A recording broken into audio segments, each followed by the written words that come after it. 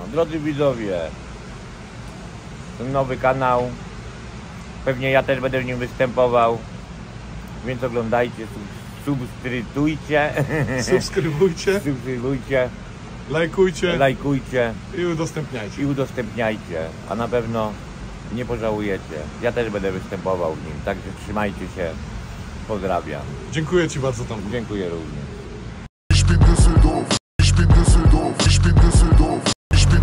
Siema drodzy widzowie, witam Was, jestem w Düsseldorfie. E, Spotkałem na ulicy kolegę, nie jest on bezdomny, jest ułożonym facetem, ustawionym, ale w przeszłości był gitem, tym się nigdy nie przestaje być, jest, jak stwierdził sam w krótkiej rozmowie przed wywiadem, jest, był i będzie. I umrze git. I umrze git. Siema Fred. Siema. Powiedz mi Fred, bo jesteś gitem, więc chciałem zagadnąć Cię o pewną sprawę, która mnie nurtuje. Ja sam nigdy nie byłem e, w więzieniu i nie mam takiego doświadczenia, ale chciałbym od Ciebie uzyskać taką informację, czy git może mieć jakikolwiek kontakt z osobą, która donosi na policję. Nie, to jest rzeczą niemożliwą. Git nigdy nie boi się więzienia, boi się konfidentów, konfidenci won.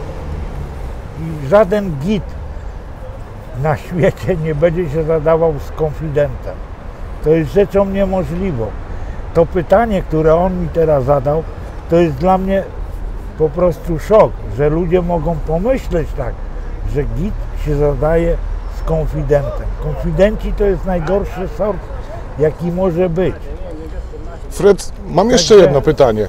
Powiedz mi, co w tym środowisku gitów dzieje się, kiedy git ma jednak do czynienia z kimś takim?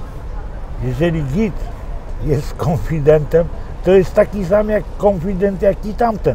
Jest po prostu frajer, nigdy nie był gitem i nie ma we krwi tego. Jest frajer, zwykły frajer, jak, jak i tamten frajer. No, nie, jest, y, żaden git nigdy nie będzie rozmawiał nawet z takim klientem, który zadaje się z konfidentem. Czyli to Nie jakieś... siądzie z nim przy jednym stole, nie, nie napije się z jednego kieliszka, nie będzie nic, nic. Dla niego to jest śmieć. Dla Gita konfidenci to są śmiecie. A ci, co się zadają z, konfidami, z konfidentami, to są dopel śmiecie. Podwój, Czyli podwójny śmieć. no, podwój śmieć. Tak, Fred, tak to wygląda i dziękuję Ci bardzo tak za to, było, że będzie wyjaśniłeś i, mi to. I tak będzie. Ja mam nadzieję, że jak najwięcej gitów to też zobaczy i może w końcu zaczną przestrzegać tego, do czego zobowiązuje bycie Gici- gitem. Gici nie muszą przestrzegać, gici wiedzą, gici się nie zadają z konfidentami. Także jeżeli się dowiedzą, że jakiś git, człowiek grypsujący zadaje się z konfidentem, to automatycznie jest taki sam jak ten konfident, no bo to jest inna sprawa. Czyli do zamiecienia na To osobną można porównać stertę. jak ormowiec się zadaje z policjantem, no. Czyli nie może to mieć miejsca. Nie, w życiu. Powiedz mi, jakie, ja, powiedz mi jakie, jakie uczucie wywołało w Tobie moje pytanie. Czy git może się No zadawać Po prostu co jest, zaczęło, mi wszystko latać z nerwów i ja myślałem, że ten facet zwariował, że jakieś zadaje mi pytanie, które nie, nie ma miejsca, jest jedyna tylko odpowiedź na nie. Dlaczego on mnie się pyta, to ja nie wiem. Jest, jaka mu przyszła idea, żeby się dowiedzieć, czy git może zadawać się z konfidentem. Absolutnie niemożliwe. Fred, ja powiem szczerze, że podejrzewałem z góry, jaka będzie Twoja odpowiedź. Chciałem to tylko po prostu potwierdzić u kogoś, kto ma takie doświadczenie i kto ma taką wiedzę. Ja, tak jak wspomniałem Ci wcześniej, nie mam takiej wiedzy, nie spędziłem ani jednego dnia za kratami. I to mnie Więc nie cieszy, mam że pojęcia. nie siedziałeś. Więzienie nie jest czymś jakimś wielkim. To jest po prostu wypadek przy pracy. Nie jest to powodem do, do Nie chwalenia jest to się. powodem do zaszczytu, do, do jakiegoś, och, bo ja siedziałem. To byłeś głupi, bo siedziałeś. Bo dałeś się złapać. Tak. Bo się zadał. Bo się twoje środowisko konfident i dlatego poszedł siedzieć. Ktoś po prostu cię sprzedał. Tak, taka jest jedyna odpowiedź możliwa. Tak jak powiedziałem, git więzienia się nie boi, git konfidentów się boi. bo dzięki nim lądują Tak. gdzie lądują. Fred, super, bardzo Ci dziękuję jeszcze raz.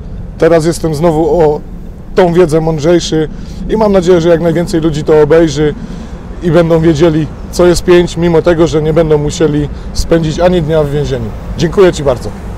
I wszystkim życzę, żeby nie, nie robili jakichkolwiek spółek, rozmów z konfidentami. Jeżeli jest jakieś malutkie podejrzenie, od tych ludzi uciekać, bo to się skończy dla Was więzieniem. Powiedz mi, jak gid zareagowałby jeszcze na to, że ktoś kogoś pomawia o czyny, których właściwie nie zrobił? Czy gid z, takim, z taką osobą by trzymał? Absolutnie, nie ma takiej możliwości. Nie ma takiej możliwości. Okej, to tyle, co chciałem wiedzieć. Dziękuję Ci bardzo. Git ludzie w gwarze więziennej grypsujący, inteligentni, twardzi osoby grypsujące, przestrzegające zasad bajery. Uważani są przez innych gitów za ludzi w odróżnieniu od frajerów i cfeli, którzy w subkulturze więziennej zajmują odpowiednio niższą pozycję i często są wykorzystywani przez grypsujących jako służący, poniżani, bisi, gwałceni itp. Grypsujący mają ustaloną wewnętrznie hierarchię. Grypsującym nie może zostać nigdy cfel, jak również osoby, które sprzedały, czyli współpracowały z policją lub innymi organami ścigania. Grypsujący przekazują sobie pomiędzy więzieniami informacje o statusie w społeczności więziennej. Są to bardzo często recydywiści, dla których więzienie jest drugim domem. Znakiem rozpoznawczym JITE jest cynkówka wytatuowana kropka pod lewym okiem. Dobra, jak bajera.